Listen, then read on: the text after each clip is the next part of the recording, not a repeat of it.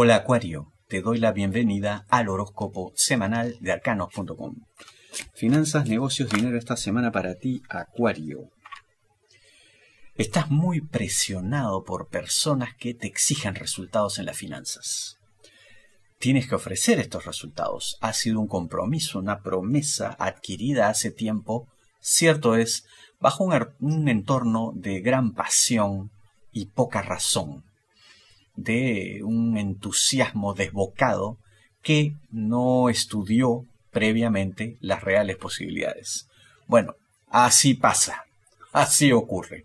Errores se cometen en la vida, este será uno de ellos, pero primero tendrás que honrar tu palabra, así te signifique pérdida.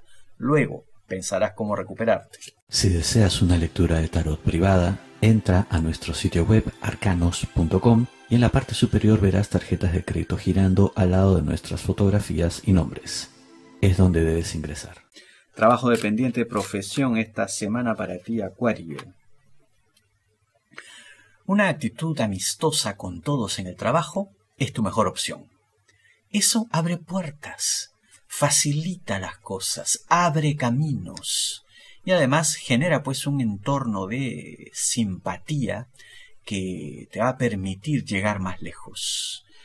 Es verdad que quizá no sea pues una amistad real, un cariño sincero, pero bueno, ¿qué se te puede decir?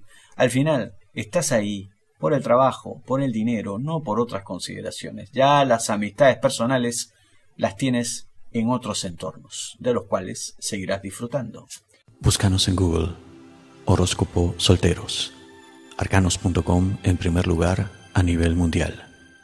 Horóscopo para solteros en arcanos.com. Todos los días. Amor esta semana para la mujer del signo zodiacal Acuario.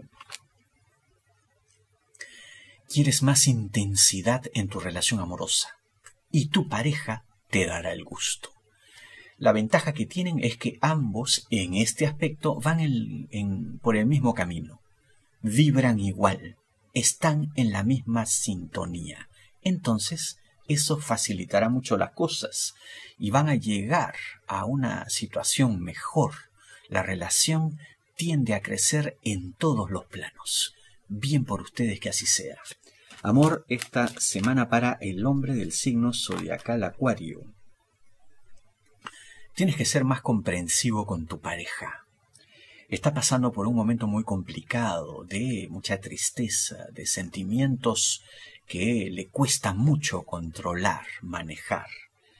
Tienes que ser tú el brazo fuerte que le apoye, ese hombro sobre el cual, cuando se necesita, hasta se puede llorar.